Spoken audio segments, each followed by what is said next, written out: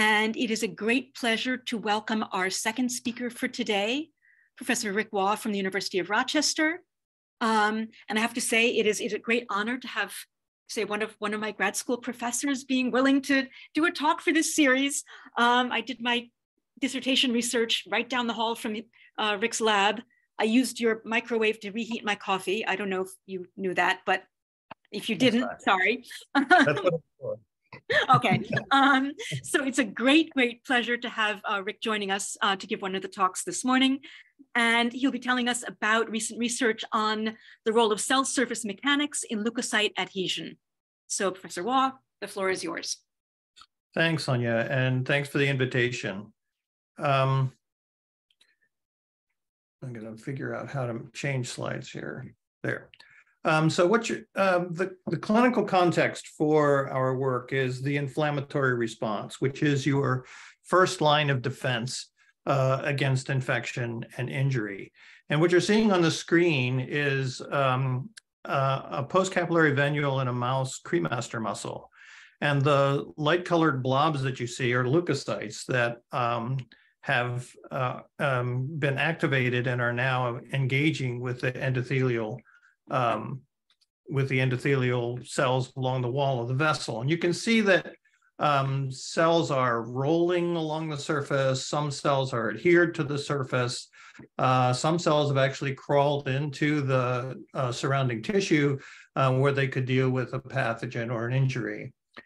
You can also notice that this all thing is happening in the context of a very complex mechanical environment. And so to really understand this process at a fundamental level, you need to understand how the mechanical properties of the cell and the mechanical properties of the interface might affect these adhesive interactions. And that's the focus of today's talk. Um, on the left is an, a naive T cell being aspirated into a micropipette. And this is the method we use to sort of characterize the mechanical behavior of these cells. And what you can see is that these cells, uh, and on the right is an activated T cell. What you can see is once these cells enter the pipette, they continue to flow into the pipette uh, under a constant pressure. So this is a characteristic of a fluid. And so the prevailing uh, description of leukocytes um, is um, is that of a highly viscous liquid droplet. And just like analogous to the surface tension on a water droplet, um, leukocytes have what's called a cortical tension, which is a contractile uh, force at the periphery of the cell that is actually responsible for the spherical shape of these cells when um, they're at rest. And we can measure this tension um, with a simple mechanical experiment. That is, we simply identify the pressure at which the cell neither withdraws from the pipette or moves further into the pipette. We call that the critical pressure. And we can calculate T cortical from this relationship, which comes from the law of Laplace. So one of the things we were interested in is how does this cortical tension differ between different types of leukocytes and um, what happens when a leukocyte changes uh, its state by, by becoming activated, for example. So here's a list of some, some recent data we've obtained from T cells. Um, the unfra- and we looked at two different T cell populations. The, the, the unfractionated cells are all of the T cells from the peripheral blood that were isolated, and then the CD8 positive cells are a subset of those cells. And what you can see is that the cortical tension is fairly consistent and it's not affected by activation when you look at the total population. But if you look at this subpopulation and they become activated, the cortical tension goes up uh, substantially. Um, so cells do change their properties, their mechanical properties in response to um, external stimulus. Note that T cells are significant, have a significantly higher cortical tension than neutrophils, which means they're going to be a little bit harder to form. They're going to do more to retain their spherical geometry uh, when subjected to forces. The numbers we obtained for T cells is very similar to what was published for a macrophage cell line um, by another group um, led by Volkmar Heinrich. So um, the question, next question is, well, how do these mechanical properties affect the adhesive process? And so we developed the, the system uh, with two pressure reservoirs. Um, that um, applied a suction pressure to a pipette that held a bead on which we layered endothelial cell ligands. and another reservoir that we used to apply pressure to a neutrophil inside a larger pipette, and which was sort of like a piston. And by controlling the pressure, we could control the force with which that cell contacted the bead. So we can then do um, open a valve, apply suction, re reverse the um, pressure, to pull the cell away, and look for adhesive events between the cell and the con and the and the substrate. We can do that. We can control the contact time. We can control the force. So um, using this system, um, we wanted to look at the uh, the kinetics of bond formation in that interface. So the probability of adhesion, which is what we measure, is related to the expected number of bonds in the interface um, by this relationship. And um, those expected number of bonds, if you use a simple kinetic model, uh, should depend on the following variables. It should depend on the area of contact, which is equivalent to your reaction volume, the concentration of the two ligands on the surface, uh, some apparent association constant, a reverse rate constant, and T, the duration of contact. So we can measure T and we can control rho, R rho L, K, A is what it is. But now we can look at what happens to this system uh, in terms of how the expected number of bonds is related um, to the duration of contact, for example. Um, so the experiment looked like this. Uh, you can see in this case, we have a very relatively low pressure for a total impingement force of 70 piconewtons. We doubled that to 140, increased it to 210, and then to 280. And the most obvious change that you can see in these images is that the area of contact between the cell and the substrate is increasing as we increase the mechanical force uh, of impingement. So if we go back to the um, uh, expected kinetics of the system, basically what we're seeing is that you should expect the number of bonds to increase in proportional to that contact area. When we looked at the results of the experiments and calculated the expected number, at larger forces, we got exactly the behavior we were expecting. These, this line actually extrapolates to very close to the origin. Lower forces, we saw something different. And initially we sort of hand waved and said, oh, it must be measurement error. But as we started to think about the process a little more carefully, we realized that this is a physical result that reflects something important about how the cell interacts with the substrate.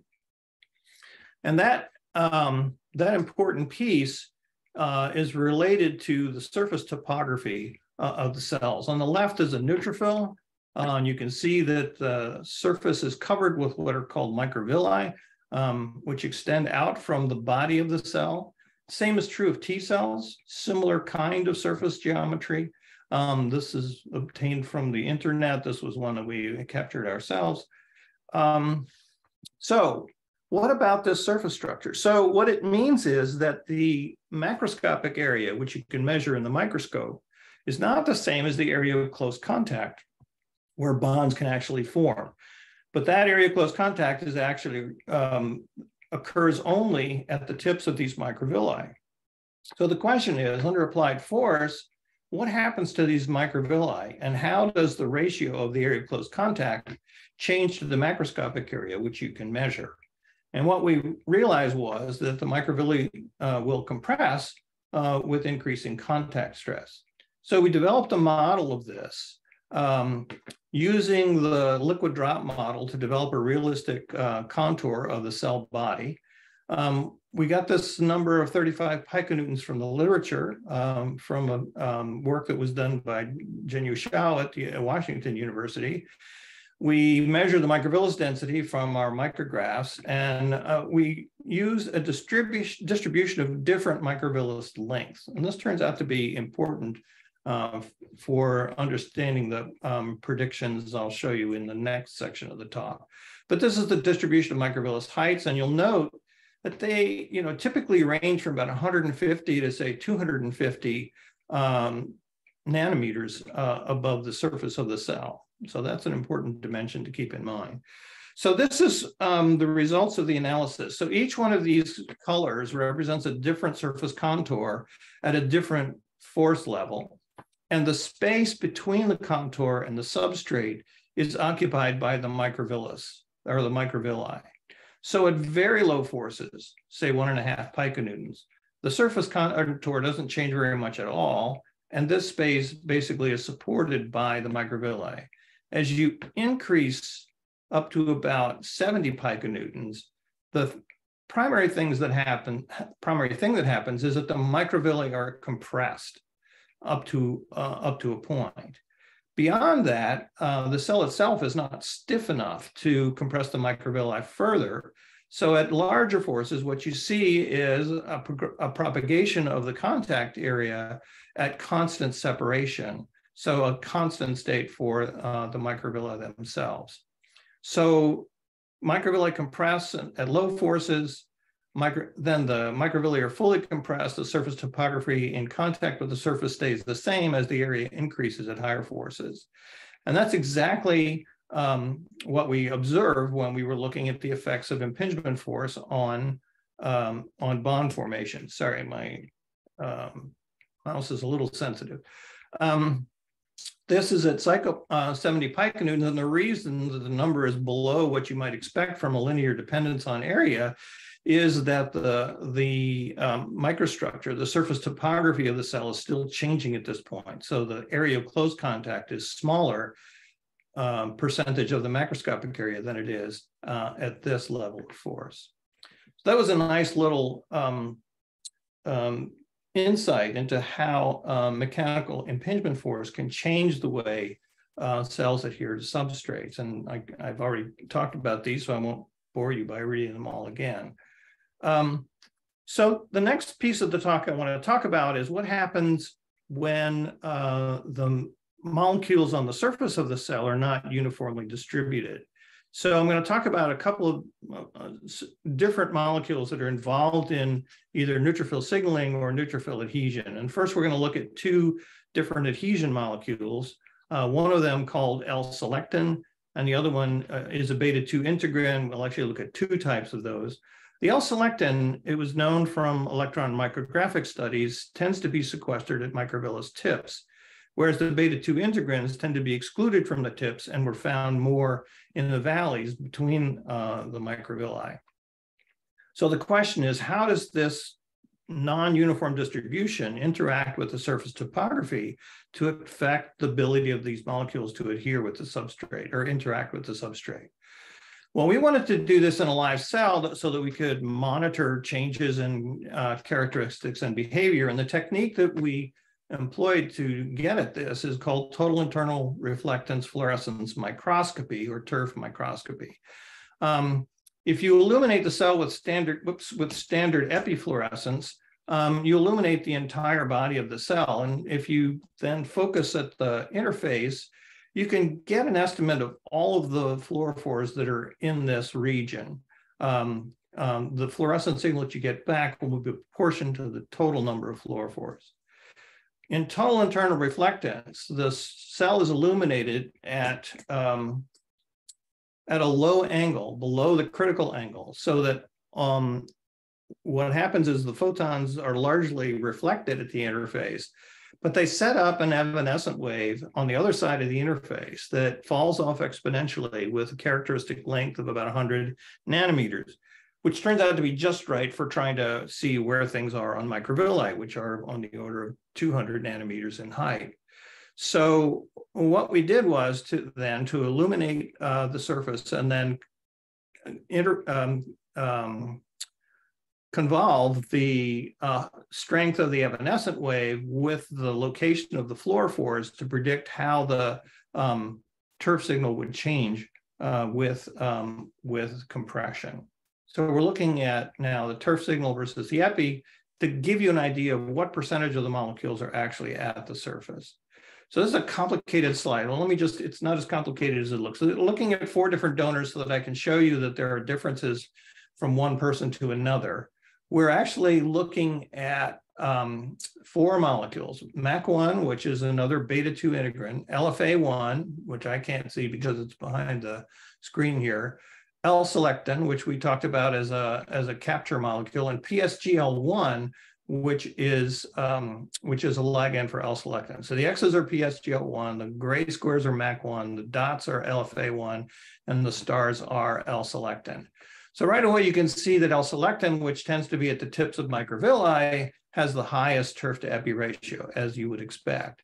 What was interesting was that the beta 2 integrins, also as you would expect, would have a lower, um, lower intensity, uh, uh, um, reflecting their position farther from the surface uh, in the valleys between the microvilli. Um, the interesting result was for PSGL1, which at, in the literature at the time was thought to be co-located with L-selectin. It turns out not to be, although you might think that from this particular donor, but in other donors, it's pretty clear that PSGL1 distributes itself where MAC1 is, um, which is kind of an interesting result that um, biologists might think about. Um, the last thing I wanted to say here is, you know, you might ask if L-selectin's at the tips of the microvilli, why does the signal continue to increase uh, as you apply greater force and push the cell into a closer contact area? Because this is the intensity per unit area, right? So um, the answer is that this is actually can only result if you have a distribution of different microvilli lengths, which is why we um, why we use those distributions. So initially, the longest microvilli are coming in contact. That's the signal down here. Then as you com as you compress the, the longest microvilli, the shorter ones uh, start to approach the surface, and the, and the signal continues to increase. So um, using the modeling that we did to interpret these experiments, we were able to estimate what percentage of the molecules were, say, in the top half of microvillus compared to the molecules in the bottom half. And our calculations suggested that about 85% of the L-selectin is, is near the tip compared to PSGL1 and MAC1, where about three quarters of the fluorophores are away from uh, the tip. And LFA1, which is the most sequestered, uh, has about 90% of, uh, of the molecules uh, in the lower half of, of the microvillus. So um, one question is, does this have any physiological relevance? And so I want to turn to some more recent results that we've obtained uh, on T cells and the effects of um, uh, LFA1 distribution uh, after cell activation. Um, what you can see here are data again from three donors, and there is some variability from donor to donor, but the typical result is that you get a lower signal for LFA1. This is the CD11A is another name for LFA1. I apologize for uh, if that's confusing. Um, and we're looking at two different cases here. One where we've specifically labeled that molecule and the other where we've applied a label that labels the whole cell surface. So this reflects uh, the topography of the cell surface, uh, and this reflects the relative location of the LFA1. You can see that in every donor, in the unactivated cells, in the naive cells, L-selectin is far is sequestered farther from the surface than uh, the average surface location, consistent with the idea that they're not at the tips of the microvilli. When you activate the cell, two things happen. One is the topography changes so that you get much more uh, uh, membrane closer to the surface. And the other is that the difference between these two disappears so that now LFA1 is more uniformly distributed uh, over the cell surface. So the cell in active after activation has done two things. One, it's changed its topography so that it can have more uh, surface area in contact with substrate. And it's also changed the distribution of these LFA1 molecules so that they can engage with the surface more easily. So the last topic I want to take up in the last five minutes here um, is to um, look at what happens when cells spread onto a surface. Cells activated um, uh, will actually change their geometry and, and in some cases even phagocytize um, their target surfaces. So we set up a, a flat glass surface that's coated with a molecule called IL-8. This is a chemoattractant and when the receptors on the cell surface interact with IL-8, the cell can um, um, change its geometry and spread onto the surface. Um, so before spreading, this is the picture of the neutrophil uh, in its resting state. And after, as it's spreading, it spreads as almost circular lamellipodia out onto the surface, which you can't tell from here, but the surface under this lamellipodium is very smooth. It tends to come into relatively close contact um, to the cell substrate. So here's the resting cell. As you start to spread, a few molecules come in close contact, and as the cell spreads, more and more molecules uh, come into close contact with the substrate. This is what it looks like um, under the microscope. This is a bright field image. This is a, a neutrophil that's above the surface, just starting to contact the surface. And then as it begins to spread, you can see the spreading of the lamellipodium. And then this is the body of the cell that's above the surface and out of focus. In epifluorescence, you can already pick up a fair amount of fluorescence signal as the cell approaches the surface. And then as it spreads, you can see that there's an increase in brightness as the surface smooths and comes into closer contact with the substrate. In TIRF, you see much less fluorescent signal initially because the cells are relatively, or the molecules are relatively far from the surface. Uh, but then as the cell spreads, you see a very large increase in fluorescence intensity, reflecting a, a very large increase in the number of molecules at the interface. Uh, let me try to get to the next cell. Here we go. So um, uh, uh, we, we modeled this process, and um, I'm not going to take you through all the details in the interest of time, but we approximated a microvillus shape. We started with a realistic distribution of different microvillus heights. We used a uniform label to account for changes in the topography of the surface as the cell spread. Uh, and then for the individual cells, we adjusted the fluorescence prediction by adjusting the lateral distribution or the distribution relative to the microvillus tips um, in the initial state. And then we used uh, a model distribution to determine the change in molecules within, within the range of bonding, the model distribution that we get from here. So this is what the surface shape looked like. The blue color suggests uh, in, that there are few molecules of this type at the surface, whereas the red shows the higher concentration of molecules away from the substrate. Um, this is the distribution of different microvillus lengths that we used. We also had to develop a model for what happens as the microvillus collapses. So we kept the area constant. So this is the edge of this blue microvillus. And then as it gets shorter, the edge progresses outward. Um, and then um, as as it gets to um, nearly flat, you know, it's basically the whole area is now in this disk. And so we modeled the height as a function of the disk diameter, which we used as a surrogate for time. Um, and then um, we needed, so when we measure the uniform label, we're determining these parameters. And then um, uh, we can use a, a, a non-uniform distribution to predict the uh, fluorescence for the individual molecules.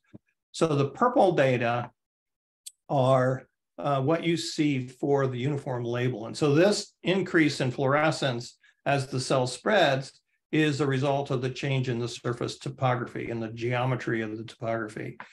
These results are for, four, are for three different molecules, LFA, our old friend LFA1, and two molecules that are receptors for our stimulating molecule IL, IL8. And you can see that we fit these curves by altering the distribution of molecules at the tip relative to molecules at the base. And then we can use that information to make predictions about how much uh, of an increase there is in molecules that are available for bonding. Mm. And that's shown here. So for LFA1, um, in the resting state, only 0.1% of the molecules are within 70 nanometers of the surface, which is roughly the range of interaction for these large adhesion molecules.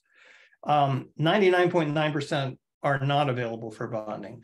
After cell spreading, when the surface is flat, basically 100% of the molecules are available for bonding. So that's a three order of magnitude increase uh, in the availability of molecules for bonding. So this could have uh, significant effects on um, cell interactions with substrate. So it's an important, um, an important feature of the whole adhesion process. So this is um, the conclusion I just mentioned to you, and that's sort of the end of the talk. And I just want to thank my um, collaborators. Chris Spillmann was a student who did the original neutrophil impingement experiments with help from a lab tech, Rick Bosserman, and a research professor, uh, Elena Lomakina. Um, the modeling was done uh, largely with the help of Olivier uh, Hyrien, who was in the biostatistics department at the U of R. Um, and his wife, Sandrine Hocdé, who was a postdoc in my lab. So that was a nice connection to make. Um, the cell spreading and modeling was done by Graham Marsh, uh, a grad student who finished a few years ago, and Elena. Um, And the most recent work on T cells is done in collaboration with my collaborator, Min-Soo Kim, who's in microbiology and immunology, his student, Andrea Amitrano, and Elena. So with that, I want to uh, thank you, and uh, I'm happy to add questions. This is where uh, I work. it's the University of Rochester in the foreground. You can see the Genesee River. Uh, this is the university in the background, and the river flows into Lake Ontario, which you can barely see on the horizon. So that's it. I'll stop sharing and uh, take questions. Well, thank you so much for a wonderful talk. Let's let's thank the speaker uh, very much, and thank you for that last slide, which makes me homesick for Rochester. But um, yeah. um, so, uh, questions. It looks like there are a few in the chat, um, and so I think the first one is coming from James Graham. Uh, feel free to unmute if you'd like to ask yourself. Um, yeah, my question is what effect, if any, does the neutrophil spreading have on the cortical tension? And could you comment on how that's perhaps related to the activation that you were talking about in the first part of your talk? Right. So um, once a cell starts crawling, the mechanical properties change dramatically um, the lamellipodium, uh, from what I understand from other investigators, gets extremely rigid. So this is a polymerized actin uh, um, lamellipodium that is, is really quite rigid compared to the rest of the cell and the cell um, as it sits uh, passively. So most of the properties I was talking about are what the cell would behave like as it interacts, first starts to interact with the substrate.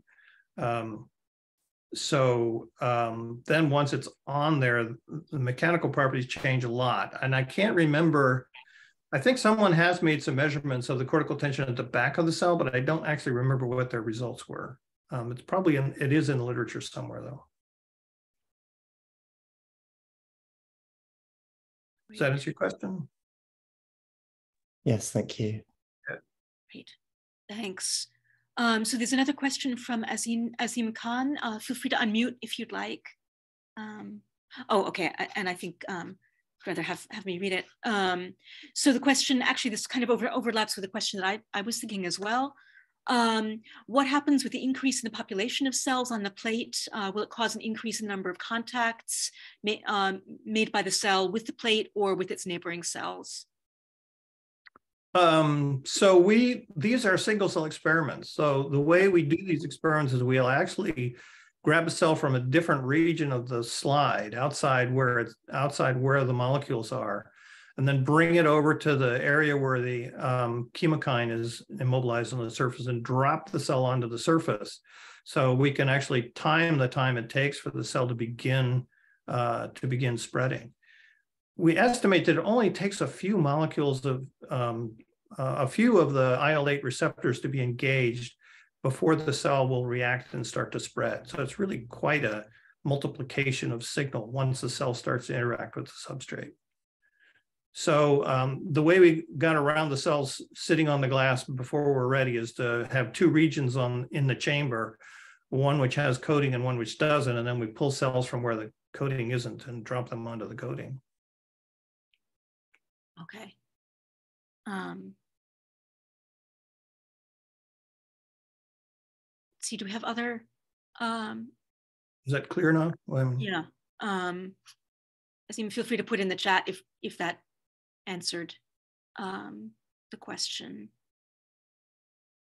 And I think we are at the top of the hour, so I think let's officially thank both speakers very, very much for wonderful talks.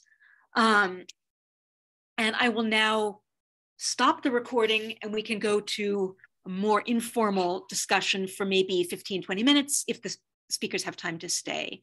Um, so let me officially stop recording here.